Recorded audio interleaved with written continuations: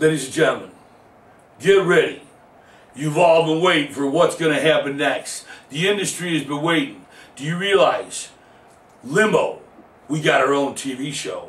That's right, ladies and gentlemen, get ready to watch this. If you're buying or building or renting or doing anything with a limo, if you're thinking about trading your motorhome, or you want to get into the limo business, or you want to buy a limo, or you want to build a limo, you want to sell a limo, you want to trade a limo, limo, limo, limo.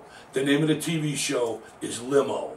Check it out. In 2008, we've already filled the pilot right here at the end of 2007. The pilot is being filmed as we speak. Ladies and gentlemen, you can't miss this.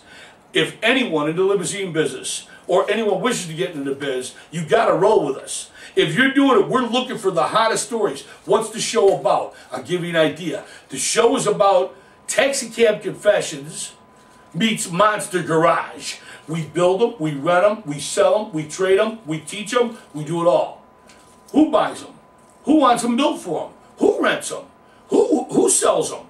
That's what it's all about. That's why we need you out there, ladies and gentlemen. Get a hold of us right now. If you're buying or building or selling or renting or whatever you're doing, tell us your story. You got a wild story in limo biz? It's all about limos. It's like Taxi Cab Confessions meets Monster Garage.